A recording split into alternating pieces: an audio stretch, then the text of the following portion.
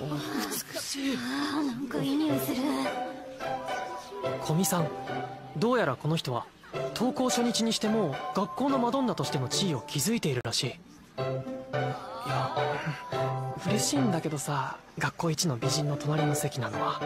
でもなんか殺意を感じるんですけど。あいつが消えたら次は俺が隣の席。ただの明日の持ち物忘れるやつはメモ取れよ。はい。まず体操服。ああ席には名前書いて貼っとけ体育館シューズも今のうちに名前書いて何をしても絵になるな。言わなくても分かってると思う。が教科書ちゃんとあ消しゴム落とした。ち